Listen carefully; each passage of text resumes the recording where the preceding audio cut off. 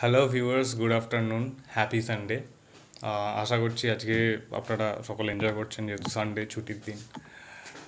আর জানি বুঝতে পারছি, আমার গোফ দাড়ি আমি কেটে দিয়েছি, খুব বাজে দেখতে লাগছে। সো আমি অলরেডি জানি এটা।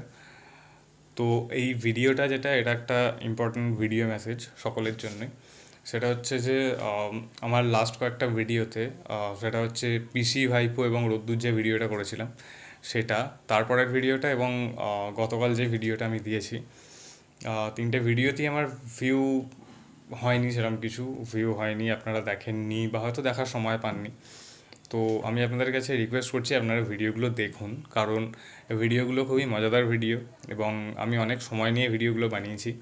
যেহেতু আমার কোনো টিম নেই, আমি একাই পুরোটা করি, তাই অনেক বেশি খাটতে হয়েছে আমাকে, পুরোটাই আমার একার বানানো।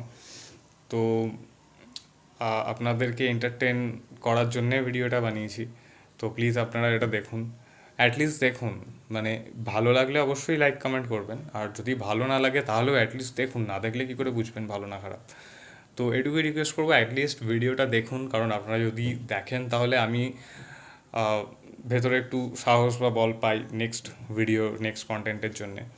তো এটাই আপনাদের কাছে রিকোয়েস্ট যে আপনারা ভিডিওটা দেখুন। আর আপনাদের মতামত জানান, অবশ্যই ভালো, খারাপ, যাই হোক, যেটা আপনারা ভাবেন, জানান।